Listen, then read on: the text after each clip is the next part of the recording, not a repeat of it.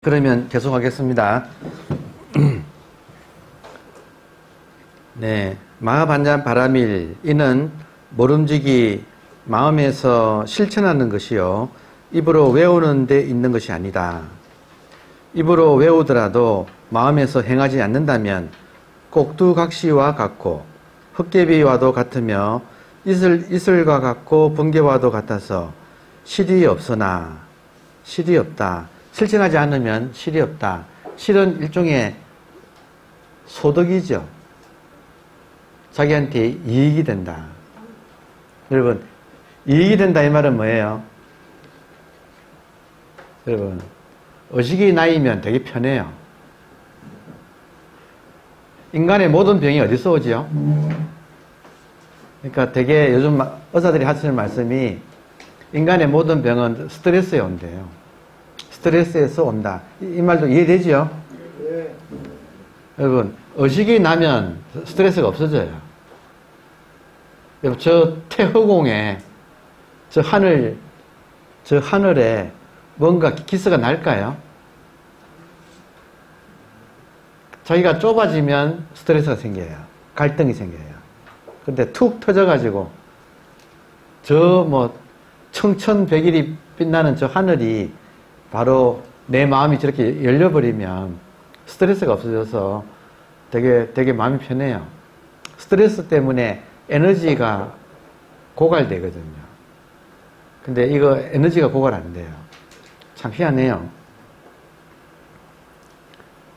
따라서 실제로 행해야지 입으로만 외우는 건 의미가 없다.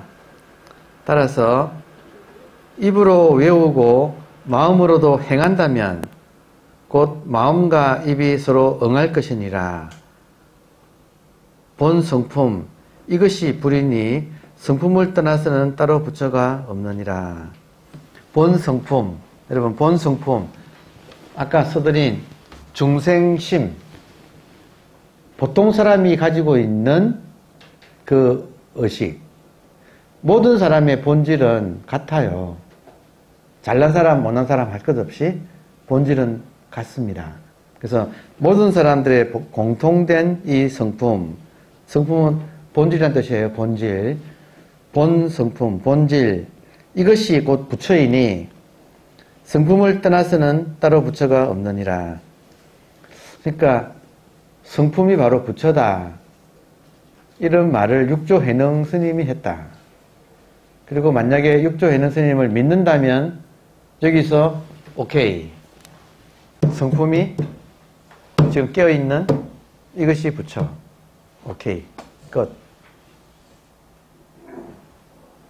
그러면 생사도 넘어서고 모든 스트레스도 사라지고 이거니까 여러분 따로 구하는 것도 없어져요. 희한한 게 있어요. 좋은 점은 뭐냐면 인간은 인간은 나름대로 욕망이 있죠. 일반인들의 욕망은 보세요.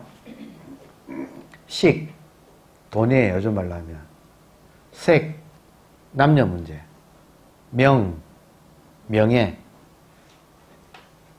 명예욕도 대단하지요.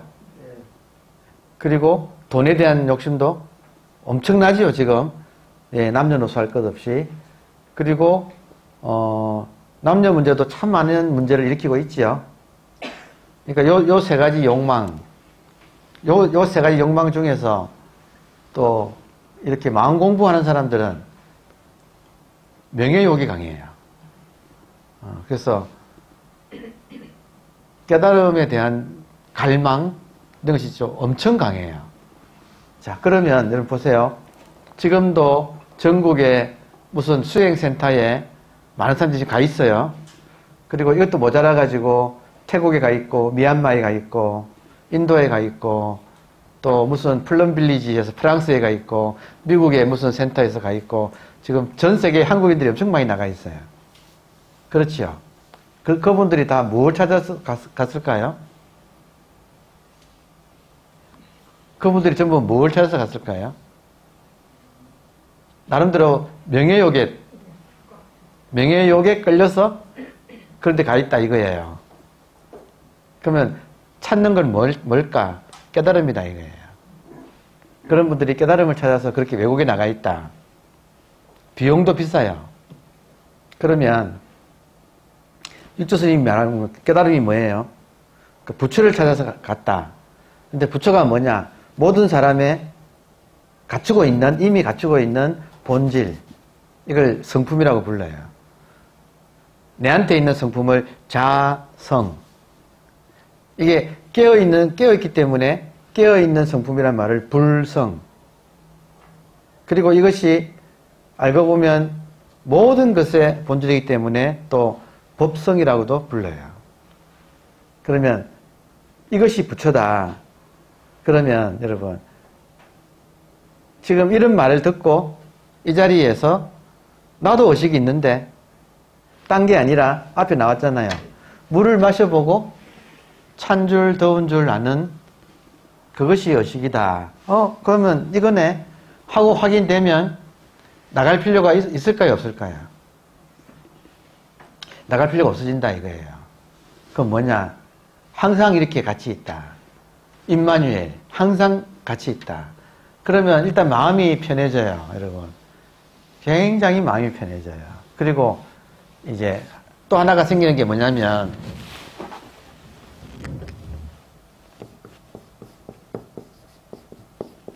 이런 거 들어보셨나요? 지, 족. 옆으로 보면 지, 아래로 보면 족. 이렇게 쓰면 이렇게 하면 오, 나. 나는 유, 오직. 지, 안다. 족, 만족할 줄 안다. 오, 유, 지, 족. 나는 오직 만족할 줄 안다. 오유 지 족.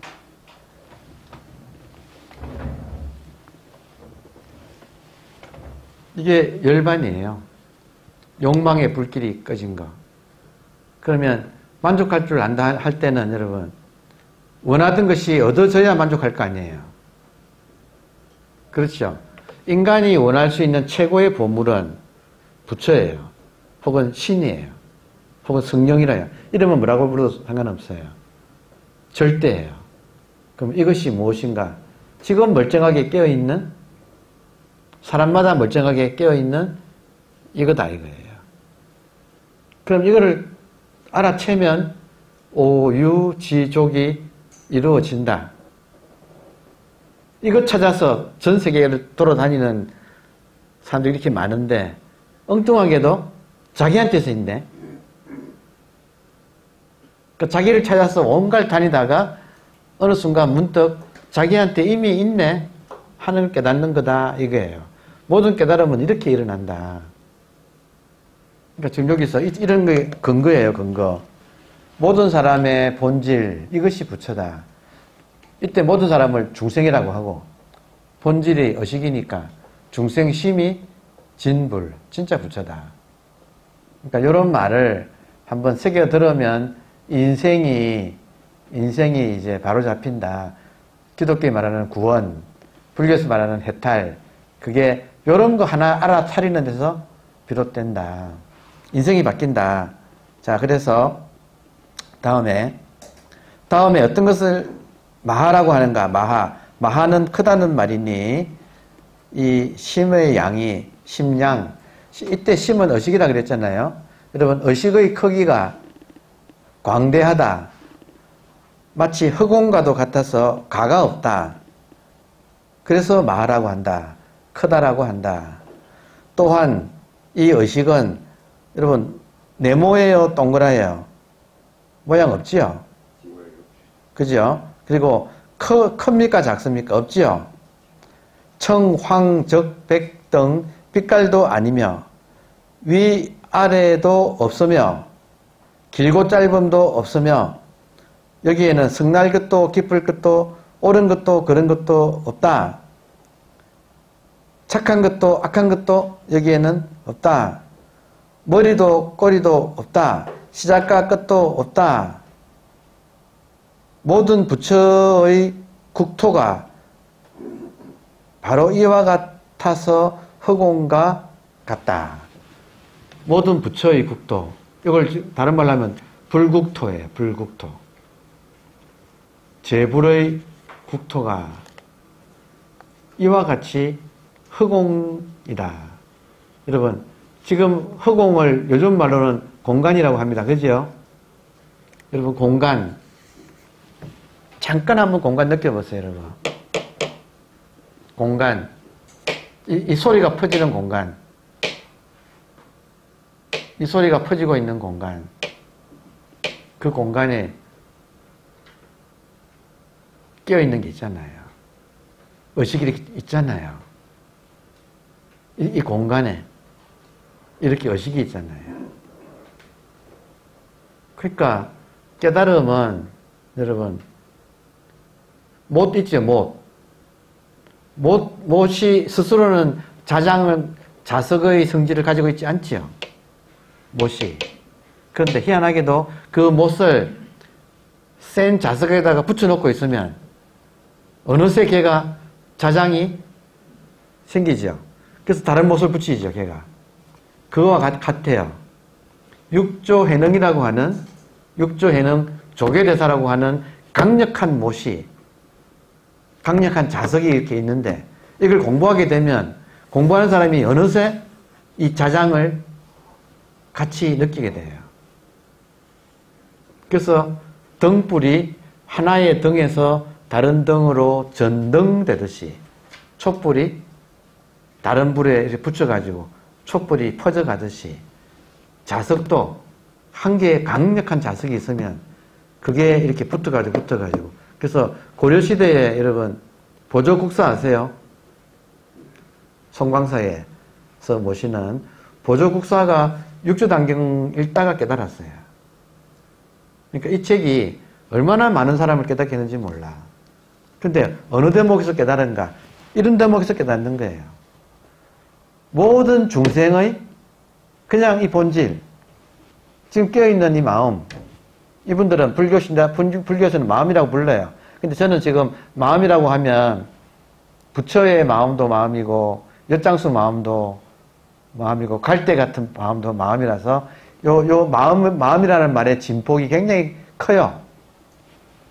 진국도 마음이라고 하고, 변덕의 마음도 마음이라고 해버려가지고, 이 마음이라는 말이 너무나 의미를 다양하게 가지고 있기 때문에 소통이 안 돼. 저 해보니까. 그러니까 그 마음 중에서 변하지 않는 마음, 진짜 마음, 변하지 않는 마음, 본심, 진심, 이거는 의식이더라고요. 지금 서양인들은 불교 공부를 많이 해가지고 과감하게 본심은 의식으로 써버려요. 그리고 마인드, 마음은 monkey mind예요, 그냥. mind는 100% monkey mind예요. 그러니까 mind하고 consciousness를 구분해가지고 변하는 현상의 마음은 mind라고 부르고 변하지 않는 깨어있는 이것은 그냥 consciousness, 의식이라고 그냥 불러요. 이렇게 그냥 완전 통용돼 있어요. 우리가 고집한다고 되는 게 아니라 이미 대세가 그쪽이니까. 그러니까 거기에 맞춰가지고 우리가 왜냐하면 이해가 되잖아요. 마, 마음 그럼 얼마나 이, 이 용례가 다양해요. 근데 의식 그러면 여러분 서양에서는 생각을 마음이라 그래요. 생각을. 그럼 생각은 일어났다 사라지잖아요. 변하고. 근데 생각 말고 여러분 생각과 의식이 구분되나요? 의식은 이렇게 껴있는 이거고 생각은 여기서 한 생각 일으킨 거고 그렇잖아요? 그러니까 의식은 바탕이고 본질이고 생각은 현상이에요. 일어난 거. 또, 또 쓰면 할 말이 너무 많아서 탈이네. 시간이 진도 올라가야 되는데 시간이 없어서 생략하겠습니다. 자, 텍스트로 돌아와서 세간 사람의 그러니까 보통 중생들의 묘한 이 성품도 본질도 본래 공하여 가히 한 법도 얻을 수 없다. 이 말은 뭐냐면 본래 있다 이거예요. 이미 있, 이미 있기 때문에 새로 얻을 수가 없다. 여러분, 여러분 의식이 이미 있는 거예요? 새로 얻는 거예요? 이미 있죠? 느, 느껴보세요. 느껴보세요. 내, 나의 이 의식은 본래 있는 거지? 따로 따로 새로 얻는 것이 아니라서 무소득, 의식은 얻는 바가 없다. 이 말 이해되세요? 무소득. 그리고 이 의식을 다시 얻으려고 하면 머리에 머리를 얻는다. 이 말도 이해되세요? 그럴 필요가 없다. 이미 있다. 깨달음이란 것은 이미 있는 것을 확인하는 것이다. 모르던 것을 깨닫는 게 아니라 이미 있는 것을 확인하는 것이 깨달음이다. 아, 이런 말을 동서양이 공통적으로 많이 했다고요. 서양에서 망각이란 말은 레테, 레테의 강할 때 레테거든. 레테. 망각을, 망각은 잊어버리는 거잖아요. 회복하는 것을. 영어에 아를 쓰거든. 아는, 아는 망각을 부정하는 거거든요. 그러니까, 아, 레테이야 이러면 그리스어로 진리란 뜻이에요. 진리는 무엇이 진리인가? 망각을 되돌리는 것이. 그게 진리다. 그게 알레테이아라고 하는 그리스어로 진리란 뜻이에요. 뭐냐, 망각을 잊어먹었던 것을 아, 이거 하고 되돌리는 것이 진리고 이게 깨달음이다 이거예요. 그리스 말로 깨달음은 아, 알레테이아. 레테는 망각이라는 뜻이잖아요. 알레테이아. 망각을 되돌려서 기억해내는 것이다 이거예요. 기억해내는 것이다. 깨달음은 기억해내는 것이다. 이런 깨달은 사람의 말을 듣고 육조 단경을 읽으면서 깨달은 사람의 말을 듣고 지금 나의 의식이 바로 부처다. 이거 알아차리는 것이 깨달음이다. 이런 말을 듣고 여기서 깨닫는다 이거예요. 그러니까 참 이걸 인연이라고 하는데 인연 있는 사람만이 깨닫는다 이런 말이 육조 단경을 같이 한번 읽는 것은 엄청난 인연인 거예요. 그래서 우리가 몰라도 여러분 아마도 전생에 나라 구하셨는지 몰라. 그러니까 오늘 이런 말을 듣는 거지. 모든 인간의 특별한 사람 말고 부처 말고 중생의 중생의 이 멀쩡한 이 지금 이 의식 이게 진짜 부처다 이거예요. 모든 중생의 보통 사람들의 이게 세간 사람들 세간 사람들의 멀쩡한 이 의식이 바로 부처다. 그래서 자성이 창으로 공함이 또한 다시 이와 같느니라. 그러니까 우리의 성품이 텅 비어 있어서 있는데도 불구하고 이걸 확인을 못하기 때문에 그 깨달음이 그렇게 인연이 인연만 있으면 확인되는데 인연 없는 사람은 깨닫기 어려워요. 스스로 깨닫기는 어려워요. 희한하잖아요. 의식을 자기가 하면서도 이걸 깨닫기는 어려워요. 일반인이. 너무 당연하기 때문에. 공기가 너무 당연해서 공기의 존재를 우리가 망각, 망각한 채로 살, 살듯이 그러다가 공기가 있다는 말 듣고 숨을 쉬어보면서 아 공기가 있네 하듯이 이 의식을 그냥 너무 자연스럽게 숨쉬고 살다가 어떤 사람이 먼저 깨달은 사람이 야야 너가 누구냐 몸이 너 아니야 너가 지금 너무 당연하게 있는 이 의식이 너야 하는 말을 딱 듣고 아 나는 의식이네 하는 순간 확 넓어진다 이거예요 고니가 붕세가 되어 나르듯이 이 몸에서 벗어나서 의식이 확장되면서 우주를 덮는다. 의식이 우주를 덮는다. 이런 말 하거든요.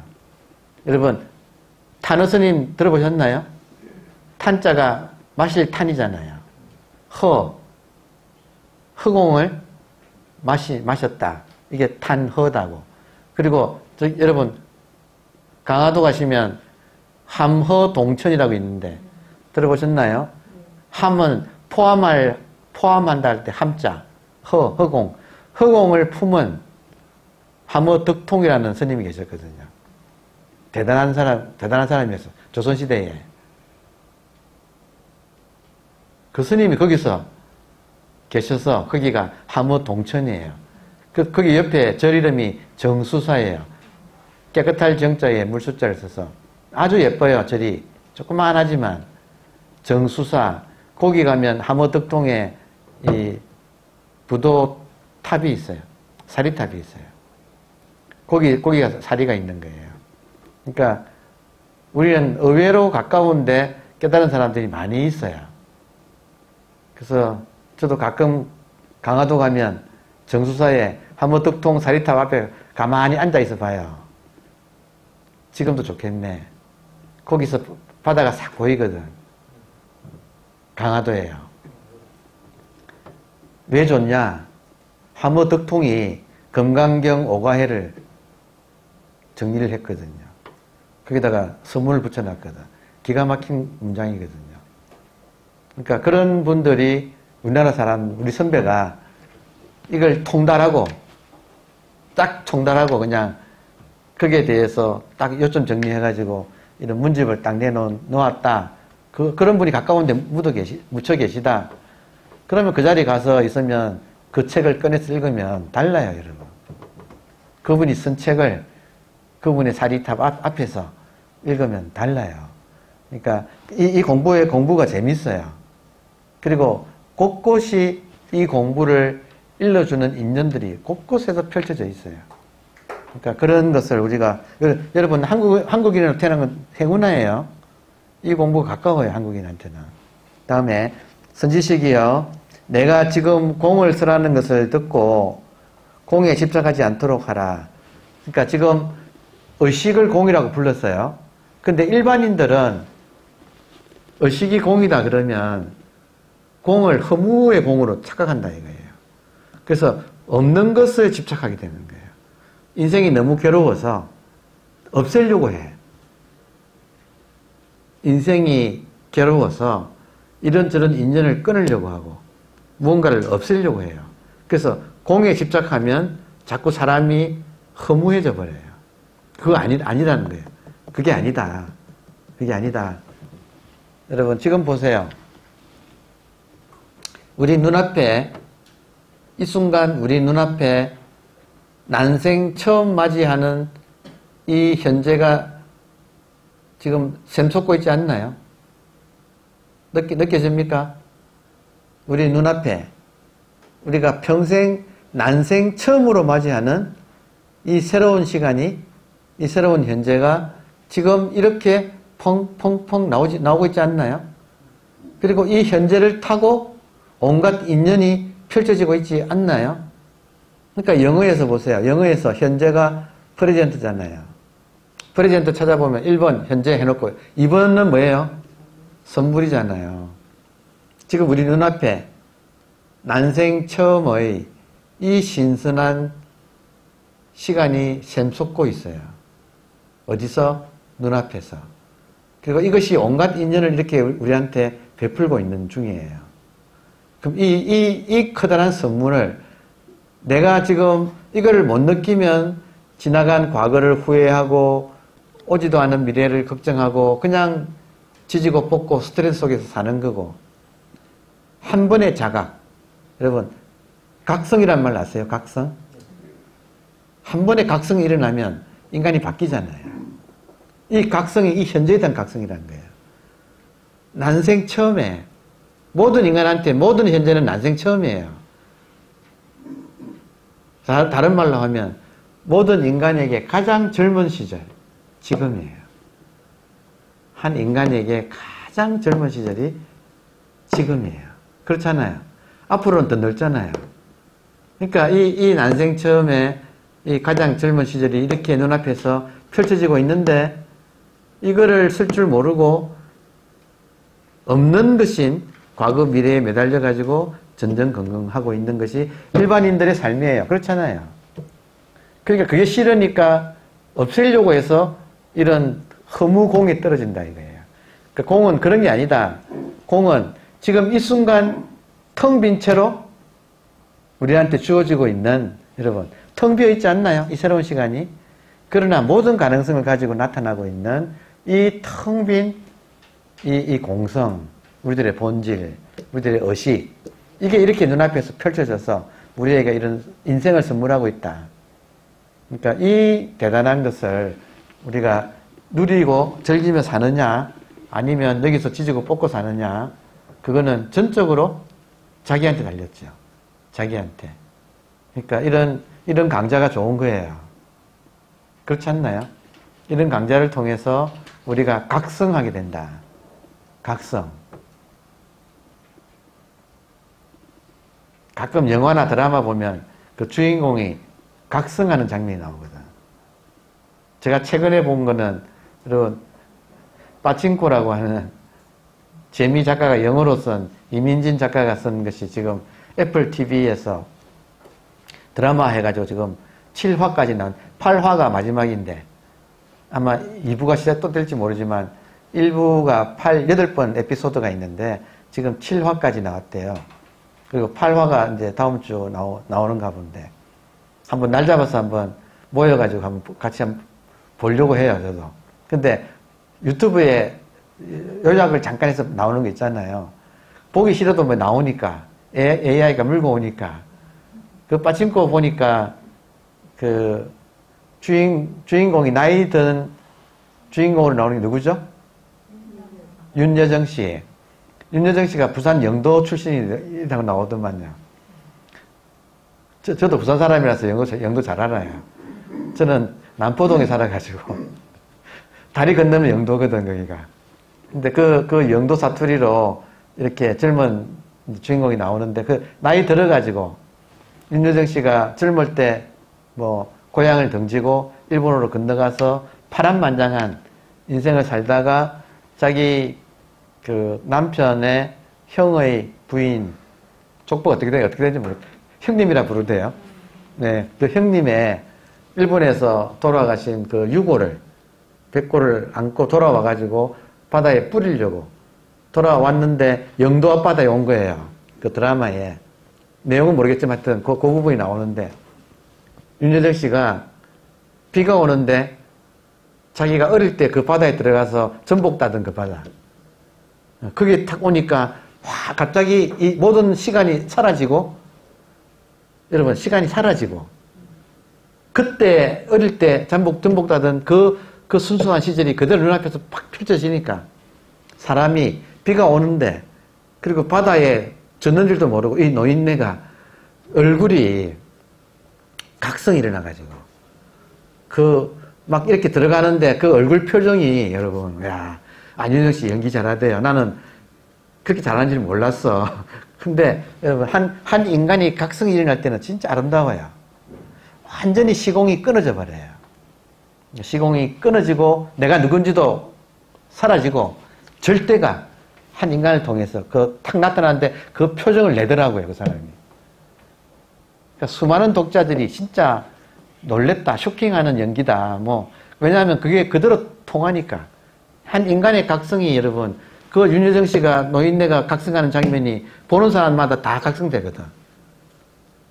이해되세요? 인생이란 것이 그 각성이 얼마나 아름다운 거예요.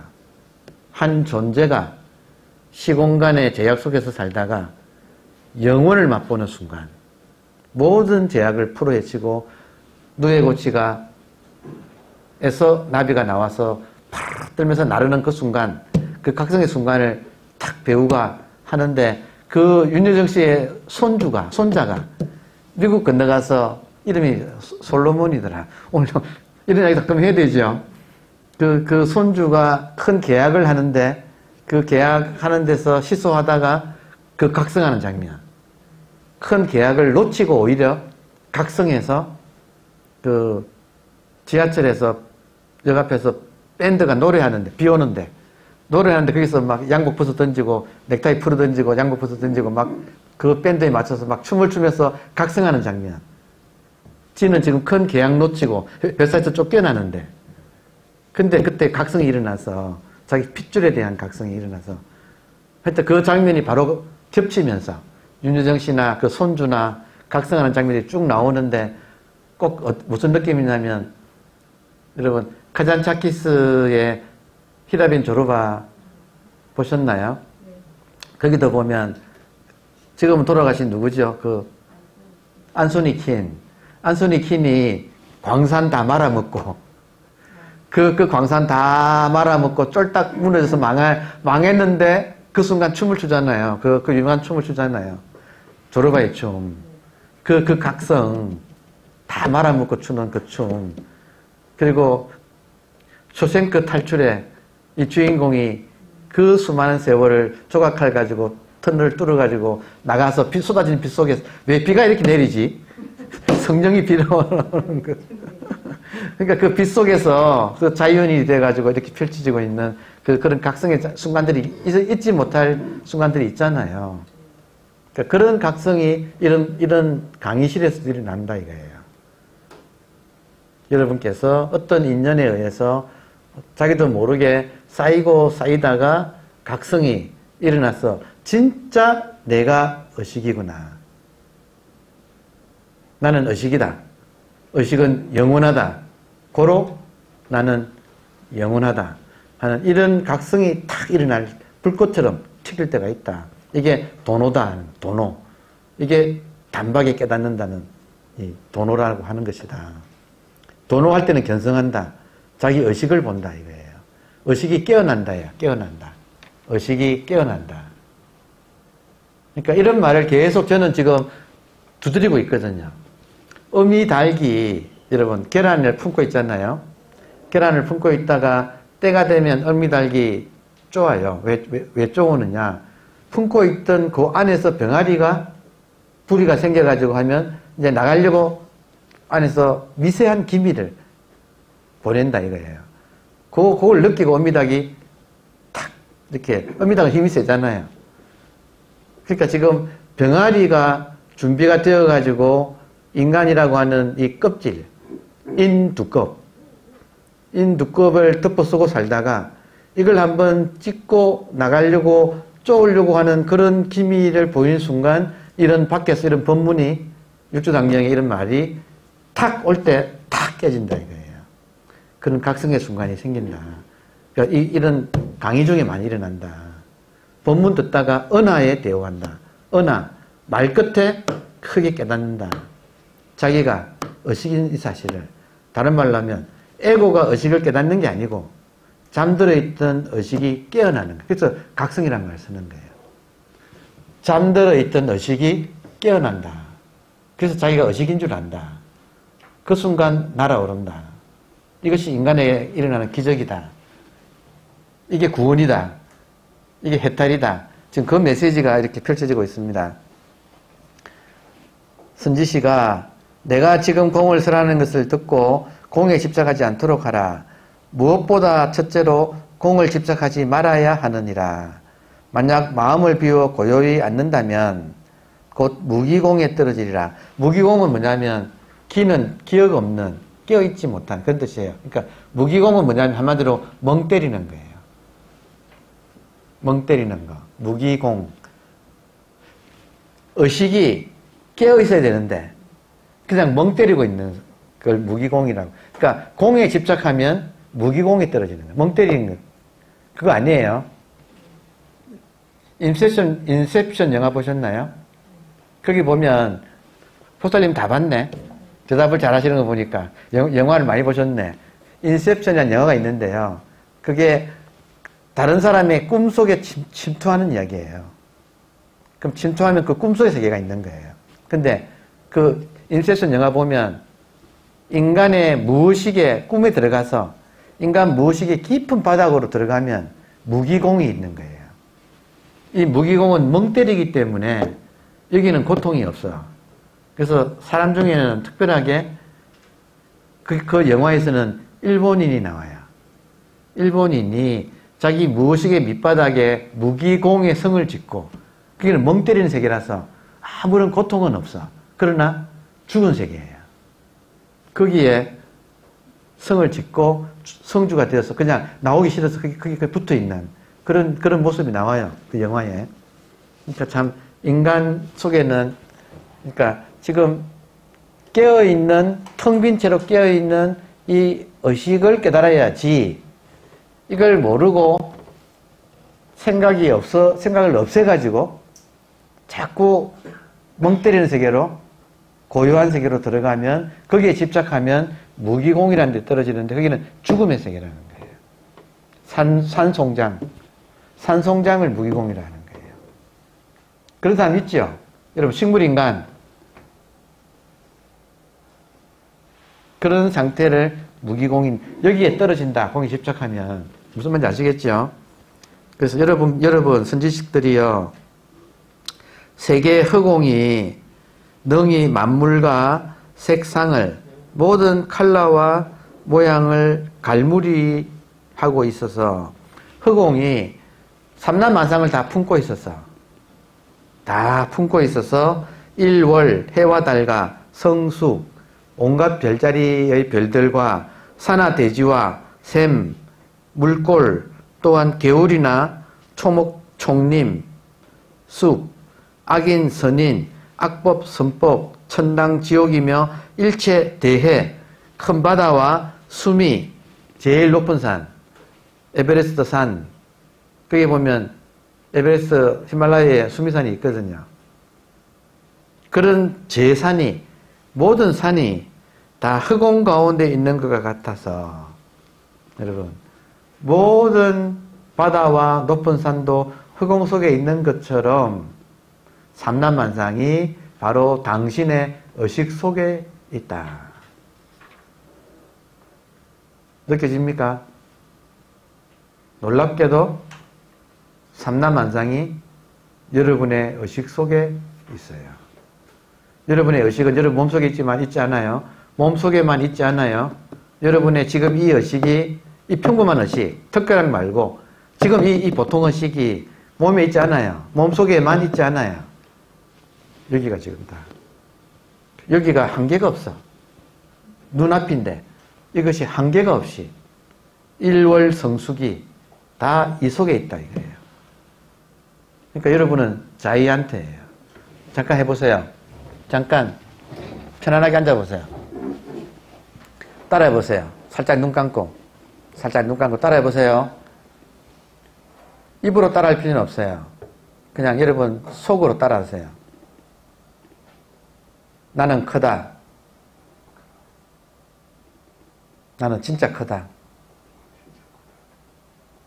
무한, 무한대다. 나는 의식이다. 의식이 없는 곳은 없다. 나는 자이언트다.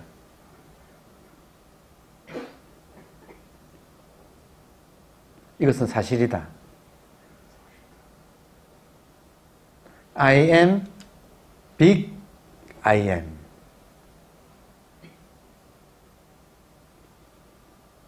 여러분 커요. 느껴지지 않아요? 여러분 큽니다. 이 모든 것이 여러분 속에 있어요. 여러분은 몸이 아니고 의식이고 모든 것은 여러분의 의식 속에 있어요. 여러분은 big I예요. small I가 아니에요. 나는 big I다. 바로 big I 돼버려요. 희한하잖아요. 나는 빅 아이다 하면 진짜 빅 아이가 돼버려. 왜 그런가? 아 진짜로 그렇기 때문에. 이 몸을 나라고 하는 것이 착각이었기 때문에. 나는 크다 하면 진짜 크다고요. 왜냐? 사실이니까. 우리들은 몸이 아니에요. 몸을, 몸을 지금 움직이고 있는 거지. 텅 빈 채로 깨어서 몸을 움직이는 이것이 크기가 없다고요. 이게 우리들의 본질이라고요. 본래 모습이 이렇다고요. 자, 다시 눈, 눈 뜨시고, 이거와 같이 세인의 본질, 본질이 의식이잖아요. 세상 사람들의 의식이 공한 것도 또한 이와 같다. 그러니까 이런 대목에 더, 여러분 육수당이 더 볼 필요 없어요. 지금 어떤 분은 왜 진도가 이것밖에 안 나가느냐 그런 분도 계시죠, 사실은. 그런데요, 나가면 뭐예요? 이 한마디에 끝났는데. 저는 솔직히 요즘은 그런 생각을 해요. 사람들하고 이렇게 대화를 나눠보면, 지금 여러분 멀쩡히 웃, 웃으시면서 끄떡끄떡 하시거든? 제 말에. 여러분, 그렇죠? 지금도 웃으면서 끄떡끄떡 하잖아요. 아이고, 끝나고 나가서 딱 둘이서 차 마셔보세요. 한마디도 이해 못하고 있거든. 희한하죠? 이렇게 끄떡끄떡 하지. 그러고 뭐, 뭐, 뭐, 대답도 척척 잘하고, 지금 다 웃으시네, 진짜. 근데 나가서 물어보죠. 까맣게 몰라. 왜냐하면, 여기서 다방 카페까지 걸어가는 사이에 까먹어버려요.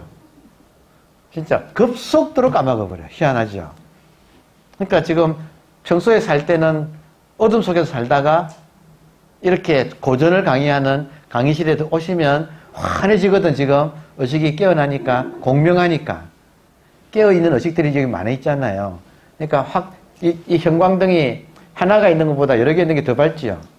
그것처럼 이 강의장이 한 사람이 깨어 있으면 깨어 있는 의식들이 이 육조스님의 이 깨어 있는 형광등이 저한테 왔고 제가 또 여러분한테 또 전화하고 해가지고 같이 깨어 있으면 이게 환하다고 얘기가.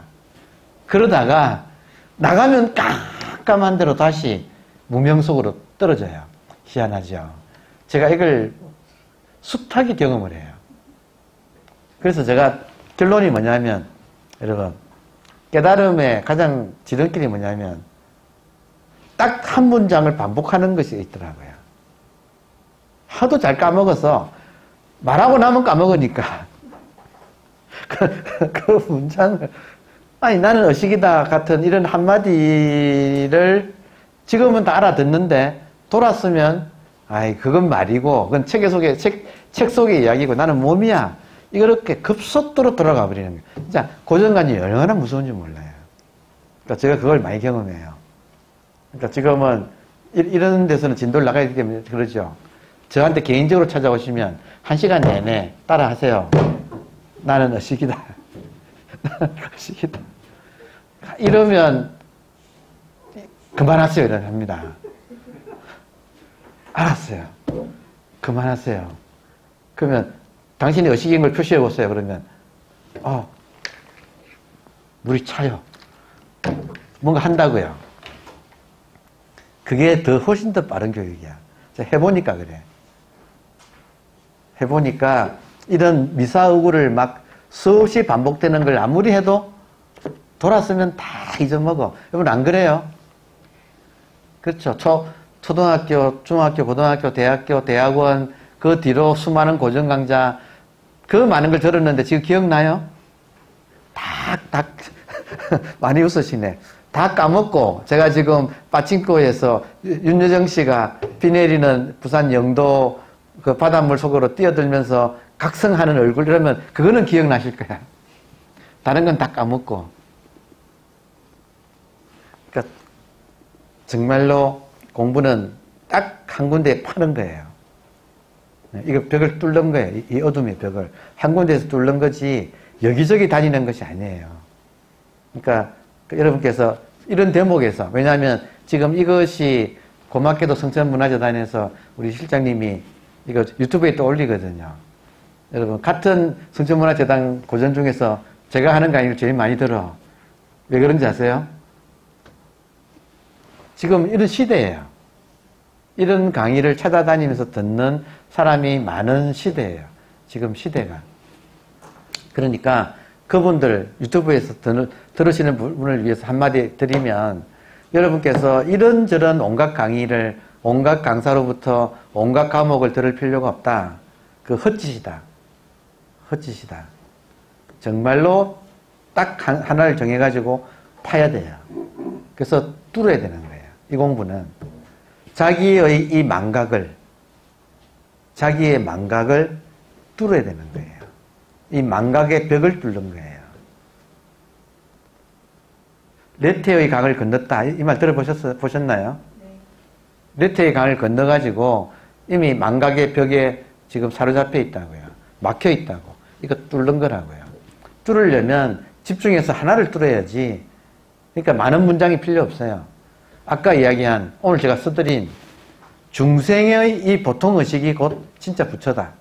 중생심이 진불이다. 이 한마디 말을 계속 파가지고 이걸 뚫는 거예요. 그러니까 이 한마디 말이 압축된 것을 화두라고 부르는 거예요. 그러니까 수행법으로 왜 화두가 나왔는가? 하도 까먹으니까 사람들이. 그러니까 여러분께서 유튜브 상에서 온갖 사람들의 지금 강의를 이것 듣고 저것 듣고 해봤자 소용없어요. 화두 하나를 뚫는 것이 깨달음의 지름길이에요. 화두 중에서 가장 유명한 화두가 뭐예요? 여러분 따라해 보세요. 답변해 보세요.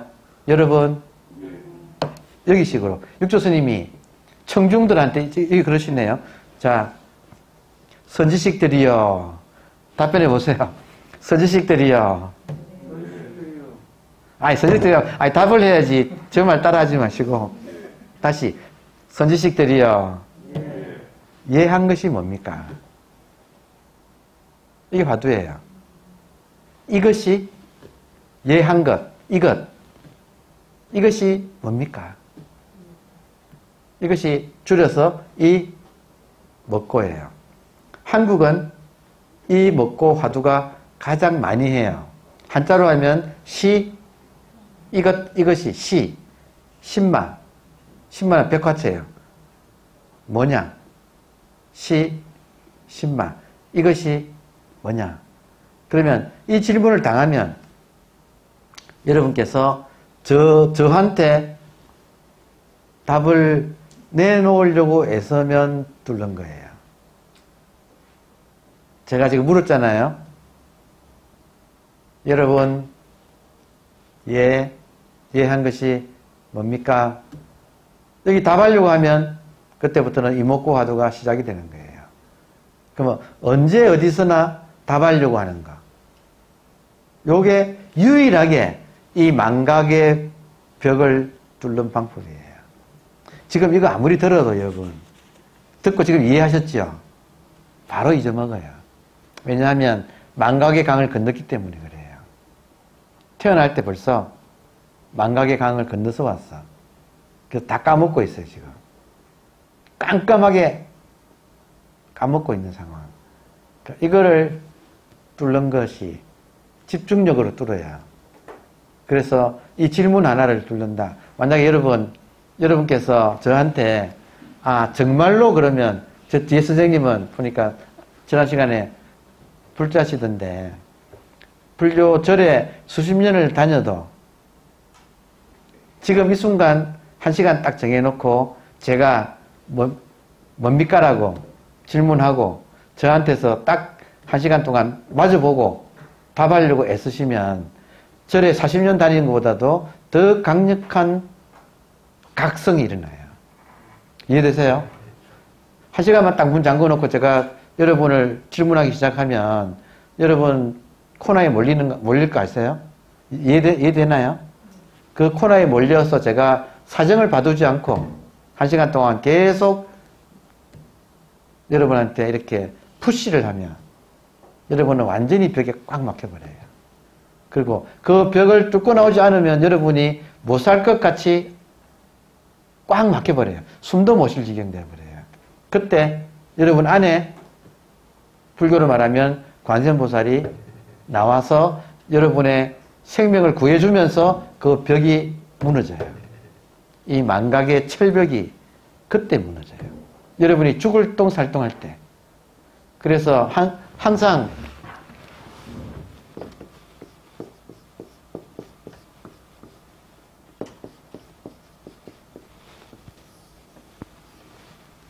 깨달음의 조건이에요. 여러분.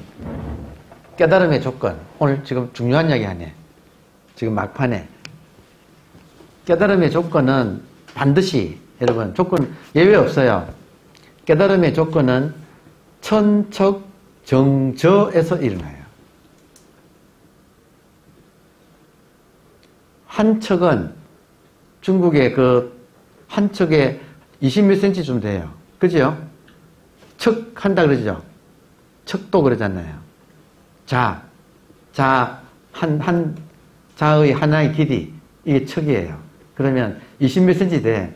천척 되면 20몇 센치 곱하기 천 하니까 22만, 2만이면 메트로 치면 100을, 1m가 100cm니까 2만 cm를 밑으로 환산하면 200m, 감 옵니까? 200m? 200m 우물, 200m의 우물 바닥에 딱 갇혔을 때. 천척, 정저. 200m 우물 바닥에 딱 갇혔을 때 깨닫는다. 그때 깨닫는다. 꼼짝 못할 때. 이 몽키 마인드가 꼼짝 못할 때. 그때 몽키 마인드가 탁 무너지면서 이 벽이 깨지는 거예요. 그러니까 그런 그런 코너에 몰리는 거, 그 코너에 몰리는 그 상황에서 깨닫기 때문에 여러분께서 이렇게 강의 들으시는 이런 인연을 통해서 한번 이런 말을 들어놓으면 언젠가 내가 이번 생에 죽기 전에 내가 진짜 한번 깨닫겠다. 그러면 화두 들고 화두는 여러분이 드는 거 아니에요. 화두는 질문이에요. 이것이 무엇인가는 질문이잖아요. 이 질문을 당하는 거예요. 화두 든다 이 말은 질문을 당한다. 그리고 도망 못 가게 문 잠가 놓고 조지기 시작하면 여러분이 천척 정저에 갇히게 돼요. 심리적으로 숨도 쉬기 어렵고 몸은 막 떨려요.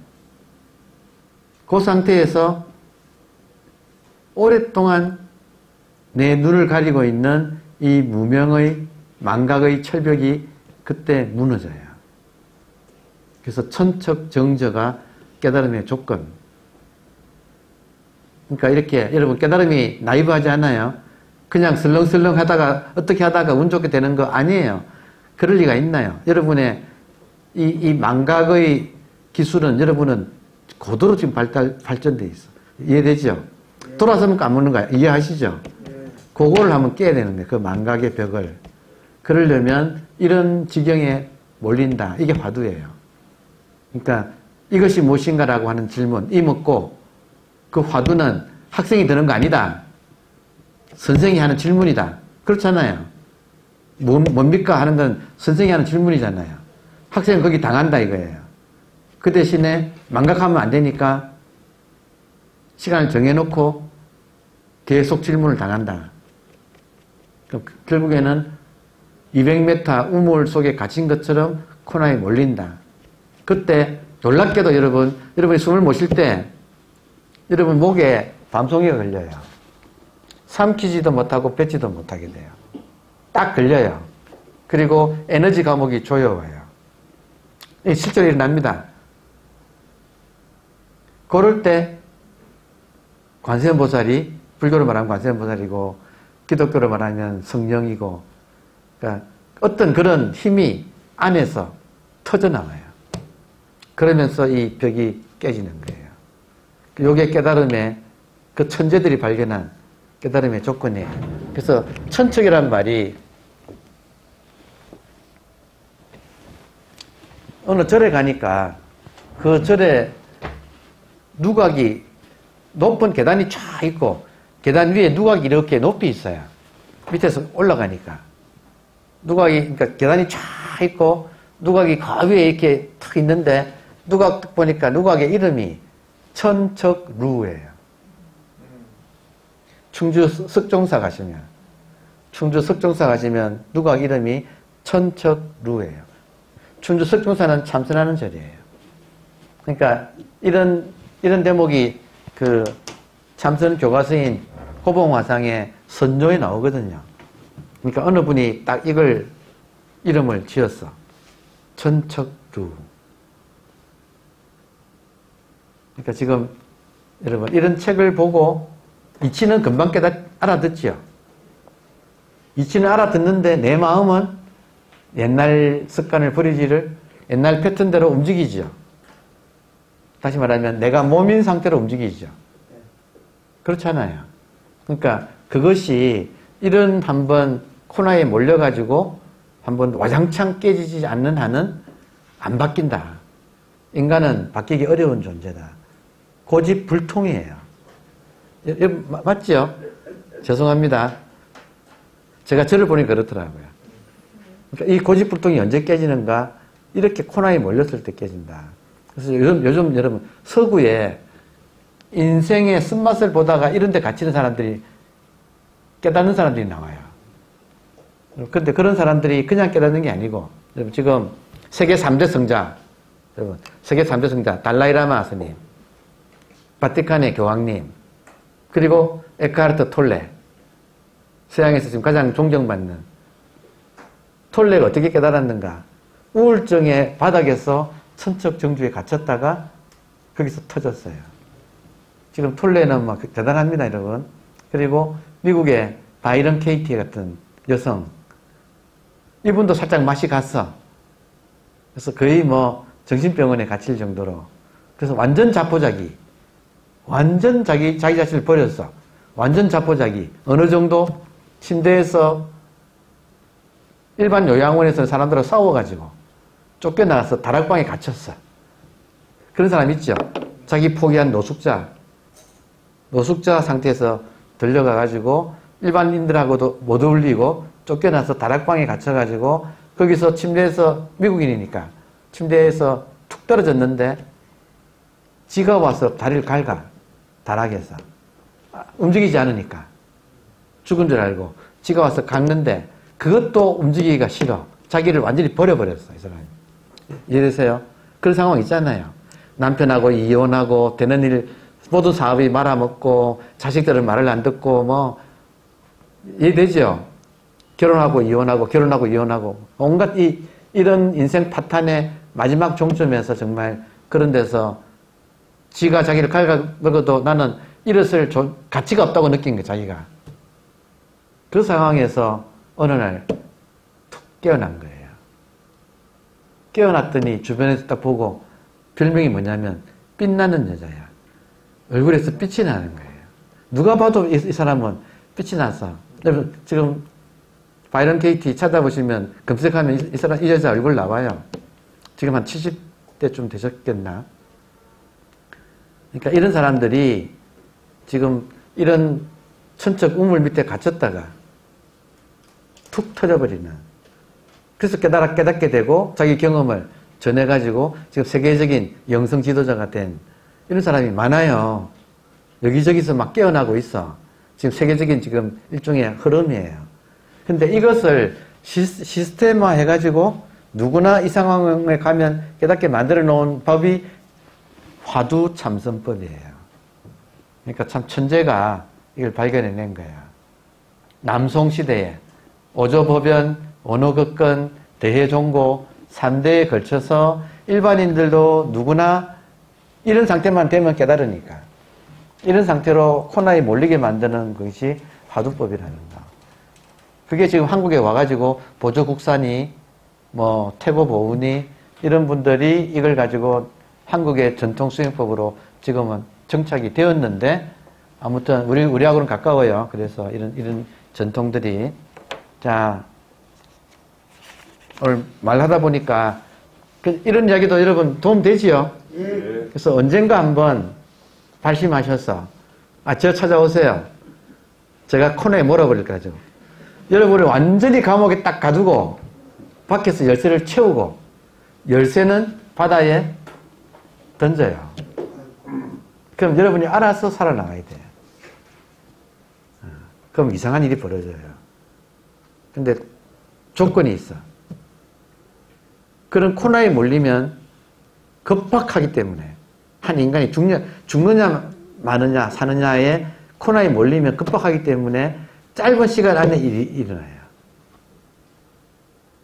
짧은 시간 안에 엄청난 변화가 일어나요. 그러니까 이것이 지금 이걸 오래 하라 그러면 아무도 못, 해, 못 해내지만 이것이 3일, 5일, 7일 딱 교과서에 나와 있어요. 짧은 시간 안에 결판이 나기 때문에 한 번 발심하면 이런 기회를 딱 찾으면 그것이 일어난다. 이게 지금 한국 불교의 수행법이 지금 6조 해능에서 나오는 거예요. 다음에 또 넘어가겠습니다. 조금만 보고 마치겠습니다. 시간이 많이 됐네요. 자, 선지식이요. 자성이. 자석은 자기한테 있는 본질, 의식이에요, 의식. 의식이 능히 만법을 머금고 있다. 이 말 이해되시죠? 이것이 바로 크다라는 의미다. 그래서 알고 보면 삼남만상이 만법은 에브리싱. 삼남만상이 모두 사람의 의식 속에 있느니라. 여러분, 알고 보면 만법이 모든 사람의 성품, 즉 그 사람의 본래 마음인 의식 속에 있느니라.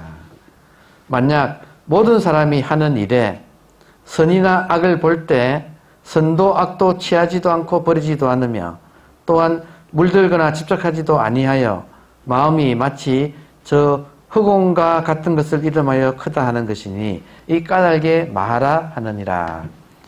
그러니까 마하라는 말을 설명이에요. 한 사람의 마음이 열려가지고 툭 터져서 허공처럼 되어서 모든 것을 품는 것 그걸 마하라고 한다. 그렇게 되면 어떻게 되는가? 여러분 마하가 되면 선이라고 해서 선이라고 해서 여러분 선악에서 보세요. 기독교가 얼마나 또 아주 날카로운가 보세요. 천지창조에서 에덴 동산에서 결국 에덴이 무엇으로 쫓겨나요? 그러니까 아담이 아담과 이브가 있었는데 무엇으로 쫓겨나요? 아담과 이브가 선악과를 먹었잖아요. 선악과가 핵심이라는 거예요. 선, 선, 선과 악을 분별하는 과일이잖아요. 이게 선과 악을 분별하는 마음, 선악과, 이거를 불교에서는 분별심이라고 해요. 분별심. 선악과, 이걸 불교에서는 분별심. 분별심은 뭐냐면, 좋다, 나쁘다고 하는 순간, 여러분 보세요. 좋다, 나쁘다고 분별하는 순간, 좋은 것은 사랑하게 되고, 나쁜 것은 미워하게 돼요. 안 그래요? 자동적으로 일, 어나지 않나요? 선악과를 먹었다 이 말은 모든 것을 보고 좋다 나쁘다로 구분한다 이 말이에요. 여러분 의식은 하나잖아요. 하나인 걸 의식 이걸 까먹어 버리면 현상에서는 모든 것이 상대적이라서 좋다 나쁘다를 한다는 거예요. 이미 한다 정도가 아니고 우리는 습관화되어 있다는 거예요. 그러니까 보자마자 좋다 나쁘다 하고 좋은 것은 사랑하고 나쁜 것은 미워하고 사랑하는 것은 내가 취하려고 하고 미워하는 것은 내가 버리려고 하고.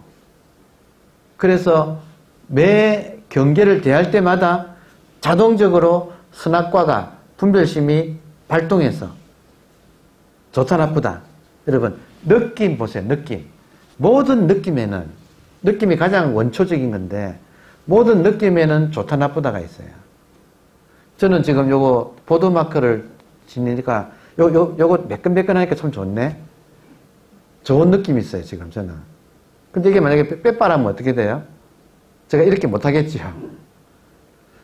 모든 것에 사람을 보자마자 느낌이 바로 와. 사물을 보자마자 느낌이 와요. 그래서 그 느낌은 좋다 나쁘다예요. 그러니까 즉각적이다 이거예요. 우리가 경계를 대할 때마다 대상을 대할 때마다 즉각적으로 느낌이 오는데 그 느낌은 좋다 나쁘다예요. 그럼 좋은 것은 바로 애정이 탁 갖다 붙어버려.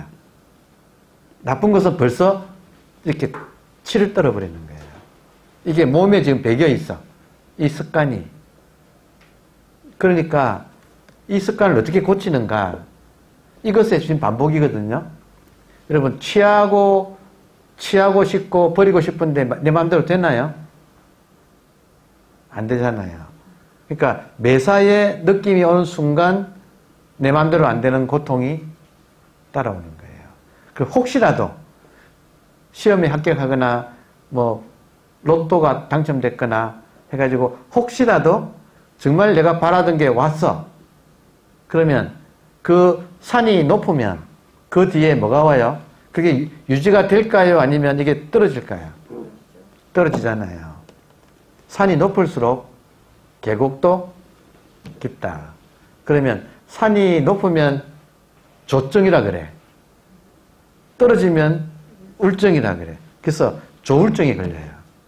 여러분 인생이 무서운 게 좋은 일이 생기면 그것이 영원하지 않기 때문에 그것이 사라질 때 엄청난 상실감이 느껴져. 그래서 조울증에 걸리는 것은 인간이 그냥 우울한 게 아니고 좋은 것에 대한 그리움이 크면 클수록 우울함이 깊어져요. 그렇잖아요. 그러니까 이 느낌이라는 좋다 나쁘다는 이것이 우리가 워낙 오래된 습관이라서 갈등, 이 조울증에 시달리고 이 갈등이 우리는 깊어요. 어떻게 치유하는가? 이 세계가 하나라는 걸 깨달으면서 치유하는 거예요. 좋다 나쁘다 하는 분별을 어떻게 치유하는가? 이 세계가 하나라고 하는 것을 깨달으면서 이게 치유가 돼요. 하나라는 건 뭐예요?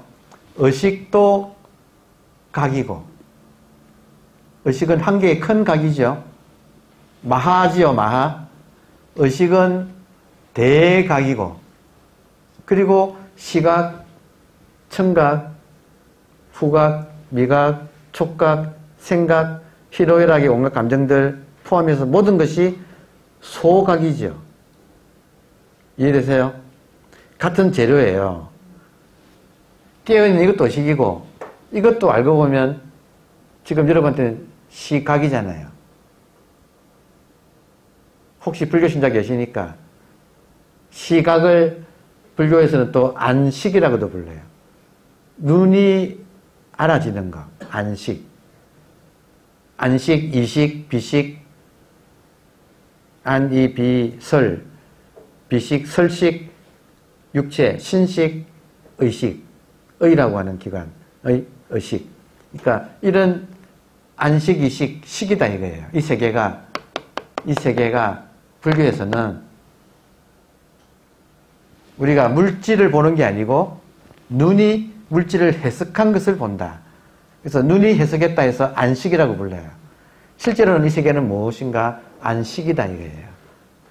그러니까 결국 시각이라는 말이나 안식이라는 말이나 다 우리의 의식이 이렇게 나타난 이렇게 해석된 상태인 거. 다 의식이다 이거예요. 한마디로 말해서. 그래서 이걸 일미 한맛이라고 하는 거. 바다는 어디서 어디다가 바닷물 찍어 맛봐도 다 짜다 한 맛이다. 이것도 각이고 의식도 각이고 이것도 각이다 이거예요. 다 각이다. 각으로 천하 통일. 이렇게 되면 좋다 나쁘다 하는 분별이 멈춘다는 거예요. 다, 다 같은 각이니까. 여러분, 다 같은 각이니까 좋다 나쁘다 하는 분별이 거기서 멈춘다. 그러니까 이게 지금 깨달음의 효용이에요. 고통의 해결. 그 참, 이게 말하자면 깊은 건데, 그러나 간단하다면 또 간단한데, 어쨌든 간에 핵심은 그거예요, 여러분. 이렇게 강의 들어도 돌아가면 또 까먹지요? 예. 여러분, 하얗게 까먹습니까? 까맣게 까먹습니까? 까맣게 까먹어버려요. 그러니까, 들어도 소용없어. 이런, 이런 감옥에 200m 우물 바닥에 한번 갇혀야 돼. 그래야 식급에 식급을 해야지 각성을 한다 이거예요. 한 인간이 각성은 그냥 안 일어나요. 식급할 때 각성이 일어나요. 참 이게 인생의 참 인생의 참 묘미예요. 여러분 세상에 공짜가 없다 이거예요. 그러니까 한번 일부러 갈 필요는 없지만 그러나 이 천척 정, 정제라고 하는 천척이나 되는 우물의 바닥 이게 화두다. 화두에 제대로 한번 딱 걸리면 각성이 일어난다. 짧은 시간 안에. 그러니까 이것이 여러분 지금 이 화두법은 중국에 없어요. 중국은 변질됐어요. 그래서 연불이 연불이 돼 버렸어요. 중국은 연불선이라 그래요. 일본에서는 이것이 이것도 좀 일본에 좀 변질됐다고 봐요. 근데 오리지널리티는 지금 한국이 가지고 있어요. 이 화두선에 일본은 화두를 풀어요. 공안으로. 1700 공안을 풀어. 푸는 거 아니잖아요, 지금. 갇히는데 무슨 풀어요? 한 번 갇혀서 화두는 하나만 풀리면 다 풀린다, 이거예요. 1700개 같다. 이거 말하기 때문에. 한 번 깨달으면 다 깨닫는 거다. 근데 일본에는 이게 어려우니까 공안을 하나씩 풀어나가. 그러니까 그것도 뭐 뜻은 있지만 어쨌든 오리지널 이 깨닫는 방법은 한국에 있다. 이거는 오늘의 결론으로 이걸 소개하면서 마치겠습니다.